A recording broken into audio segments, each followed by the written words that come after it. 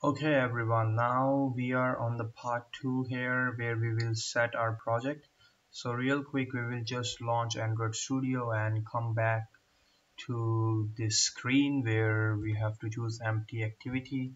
And we can name this flag game. And obviously here you have to choose Kotlin because we are starting our first project on this channel in Kotlin language. And as this is building I'll just maybe yeah try to pause the video so it like you don't have to watch the boring parts. Okay I believe the okay it's still building the app. But anyways yeah it's completed. So first of all what we will do is we will just go to our module build.gradle file where we will enable data binding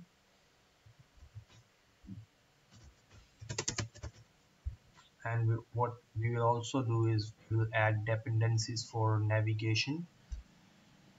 So you can either go to Google to find the dependencies or just type them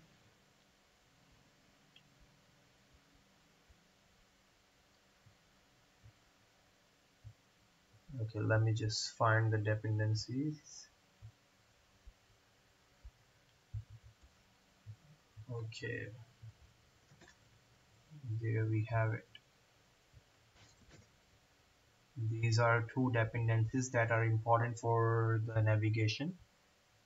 It's pretty much the same because I have made so many videos uh, about the Android Jetpack. Uh, but obviously the syntax is a little bit different in Kotlin. But once you start using it you will get used to it.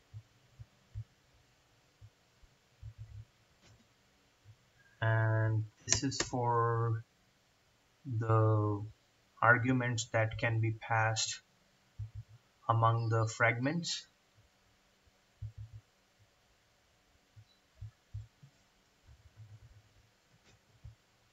and now what I want you to do is go to the project project file of build.gradle and paste this because this is also needed for passing the arguments or passing the values among the fragments. So now this is building and uh, this should be finished. And what I want to do is I'll be reusing my layout from the previous tutorial uh, previous project of mine. So you know if you are not a beginner then obviously it would make a lot more sense to you because this is a little bit advanced. But if you're not then I will also explain how the layout is operating. So first of all what we'll do is we'll just create android resource file in the res folder and we will name it navigation. And here from the drop down menu you have to choose navigation. And we can give this navigation graph name. So once this is done what I'm going to do is I will paste uh, two layouts that I need but obviously uh, I will explain that uh, how those layouts uh, are made okay?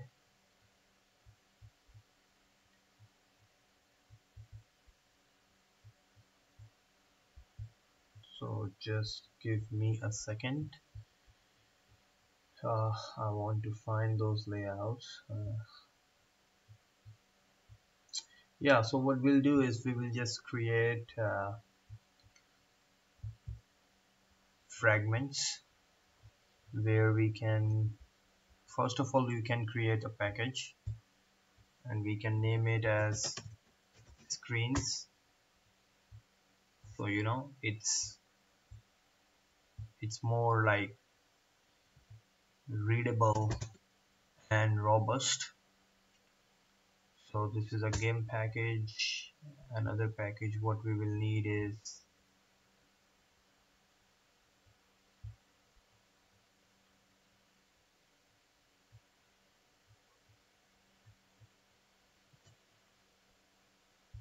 score. And the last one is going to be the title title is like I'm just using this word for like the first uh, fragment that you see when you when after you enter the name and all okay? So what I'll do is I'll just create a fragment here which is blank and what we'll do is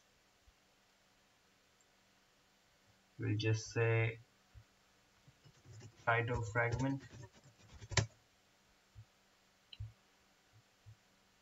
We can also create a score fragment.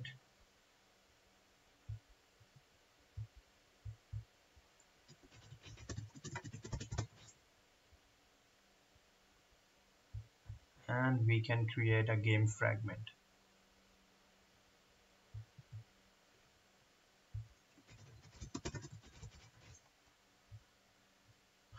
okay. We have got our screens and to clean it a little bit like once the build is finished we can just delete this. So you know it's more clearer and more readable. And here we will also just delete this. We'll also go and do the same because this is not necessarily a necessary code but we don't need this for this project. So we'll just clean it a little bit. This give us this will give the uh, give us like better readability. Otherwise if you are new then you see all this and you get confused.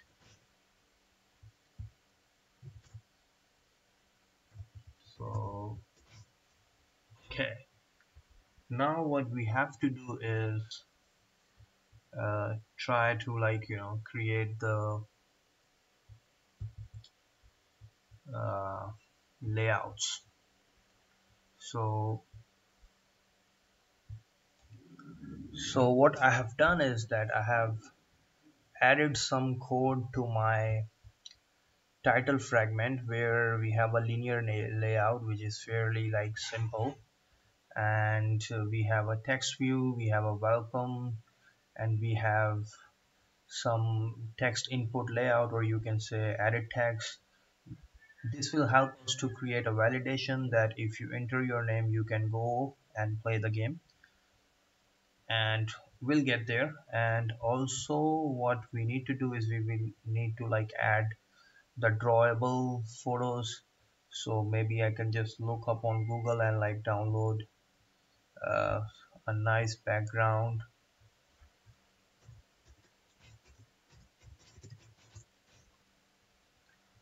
Okay I have to maybe bypass this.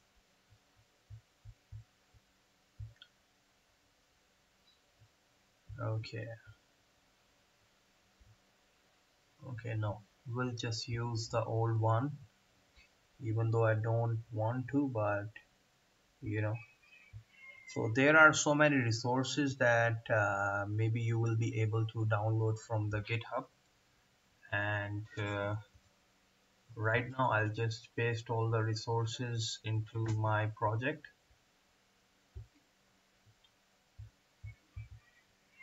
And it's been a while to make a tutorial. So after a long time I'm doing this so yeah bear with me. Um,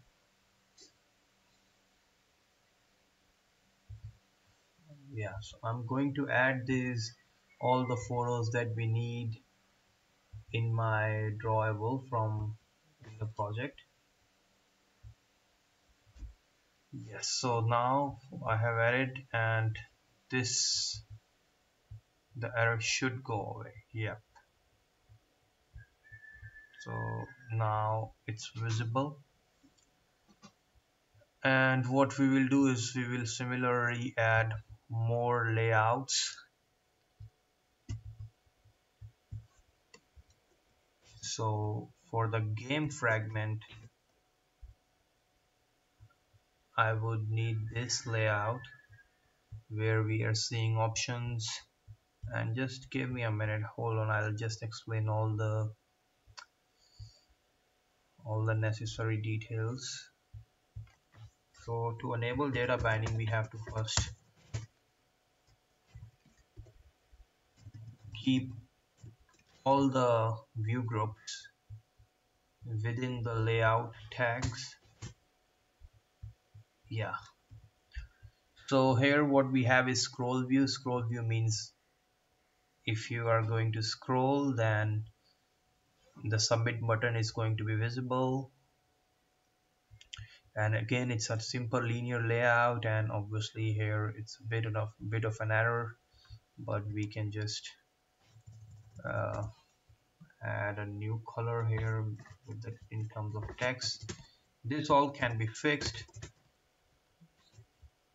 There is nothing to worry about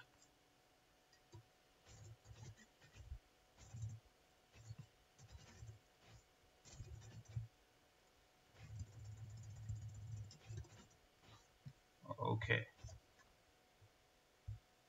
Yes so here we are. Okay. And now what we have to do is the last fragment where we have the result. And that I will also uh, like take the layout. And first of all I'll just create the layout tags.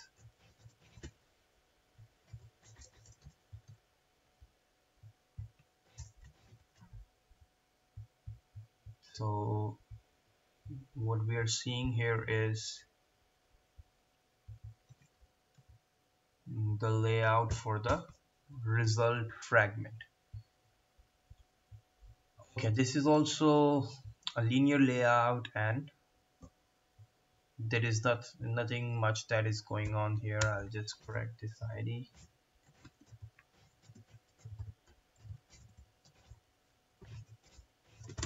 okay. That's great. And we can maybe change it a little bit and make it look better. But this is what we have done. But what we can do is how do we bring this all? If we run our app right now maybe I'll, let's try to do it what we will see is only hello world. How do we display all these all these fragments on the front page right? So that is why we are creating a navigation graph where it's a it provides a navigation path to our uh, application. Yeah so the Gradle is still building um, what I'll do here is I'll just go to the navigation graph and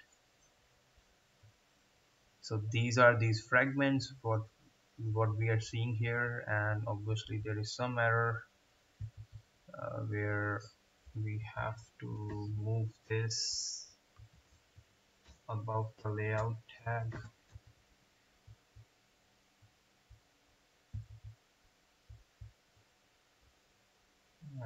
and even the fragment title has to come under data binding so we can enable it ahead of time.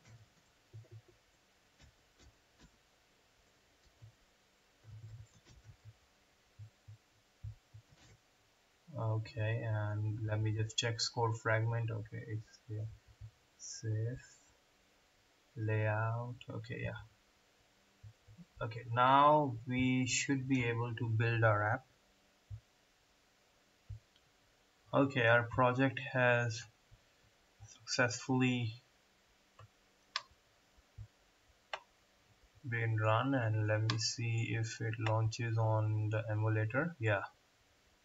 So okay yeah we are seeing hello world but how do we display our desired fragment here okay and we'll just try to close this tutorial within 20 minutes. So right now we are at 15 so what we do is here we go to navigation graph and here we will define the path. So first fragment is we need is title fragment. And if title fragment is like done then we should go to the game fragment. And then once we finish playing game then it should go to score fragment. So we'll just create these paths but if we are on a score fragment then it should not go back but it should restart the game. So the where we restart the game we we play or restart the game in the first fragment right? So that that is that path for going back and the reason this is not a, a preview is not available is because of some uh, I think I removed the tools attribute here that is why. But no worries what we'll do is we'll just come here and we'll delete this text view. So that's how we will host our navigation graph here. Fragment. Match parent match parent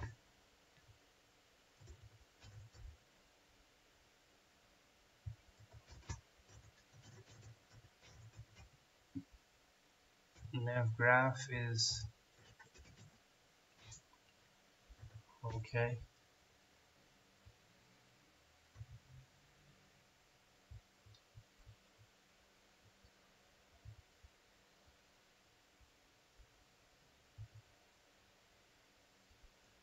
Default. Okay I default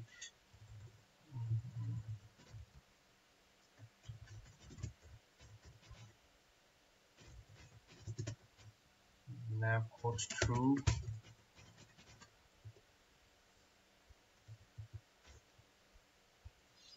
and the name is going to be android x navigation dot fragment. Make sure to spell this right. Nav host fragment. And we close the tab and let's try to run the app. Hopefully we'll be able to see our title fragment.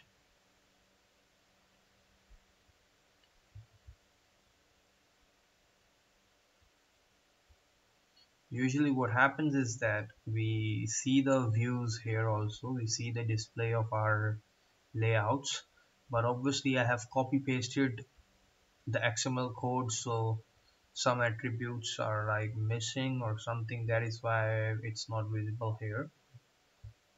So okay so the build has successfully uh, run and like we'll see if so our app is crashing and there should be some reason. We'll just check in the logcat why our app is crashing okay let's close that. Mm. okay. Unable to start activity. Android view okay yeah. So what we have to do is we have to go here and obviously the main activity is also using data binding. I think it should.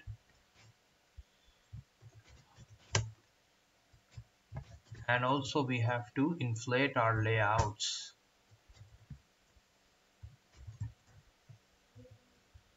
So yeah.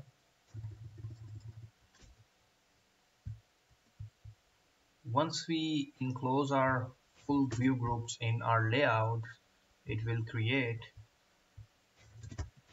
val binding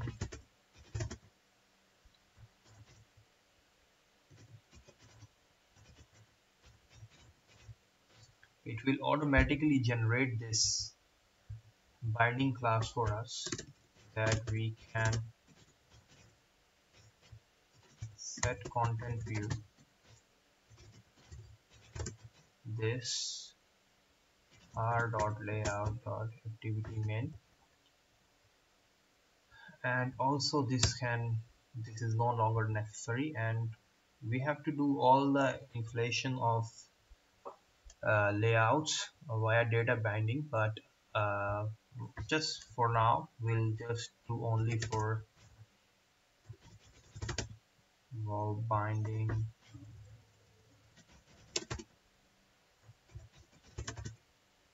fragment title binding because obviously we had uh, enclosed our layout of title fragment into the layout tag. So binding is here. Data binding inflate inflator is from the layout inflator class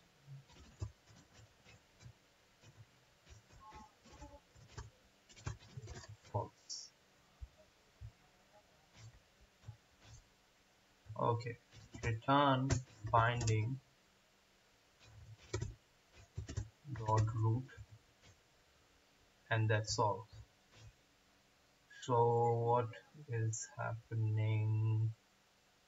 Yeah. Late init I think ensures that we don't have to add here the null pointer.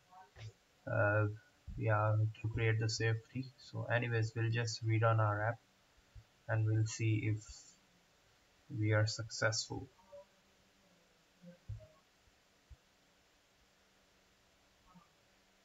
Okay we are getting error again. Let me see what's the reason.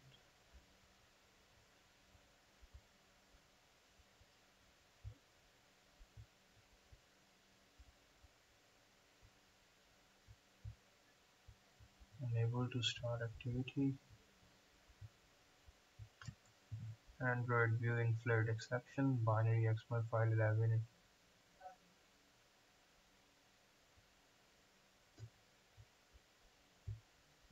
okay. Let's see what could be the reason of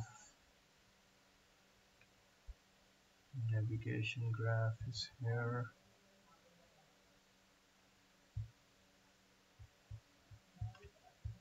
did we close the tab? Yes we did. Mm. some sort of an error but we'll just figure it out. Well I'm like still uh, checking my layouts and we'll see Uh, what is the issue here?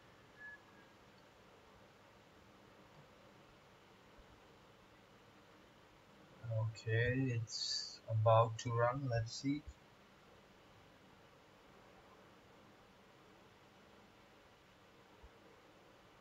Okay great.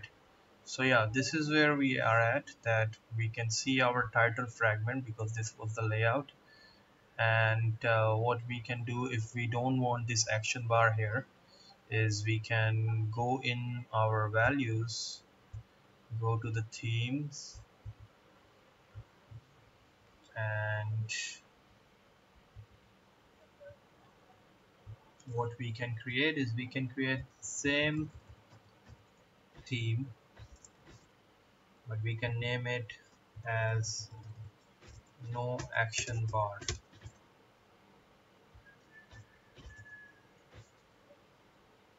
and we can go to our manifest file. This is just extra. Orientation should be portrait and theme should be style no action bar. And if we rerun our application then it it gives us like the full-fledged uh, screen that looks more beautiful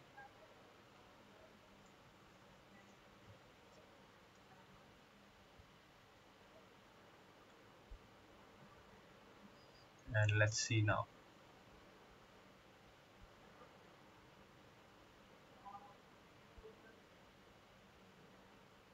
Okay so now it's making use of the full app. And if you want this to move a little bit like upwards once the keyboard comes out then we can add this Windows soft input mode in adjust resize and now you'll see the difference here because this pushes the screen upward.